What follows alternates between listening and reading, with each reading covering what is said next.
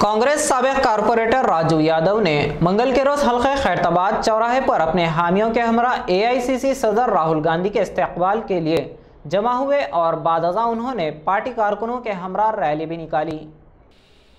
اس دوران کانگریس سابق کارپوریٹر راجو یادو نے ریئل چینل سے بات کرتے ہوئے بتایا کہ کانگریس صدر راہل گاندھی کی آمد حیدرآباد سے کانگریسی قائدین و کارکنوں میں ایک خوشی کی لہر دوڑ گئی ہے۔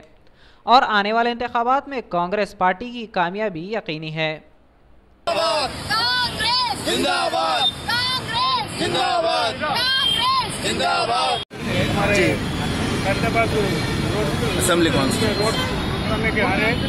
حیدرآباد کانفرنسی جی۔ کے جو پورے جو بہن جو بھائی بہن وغیرہ ہے ہمیں اس کے لیے سواگت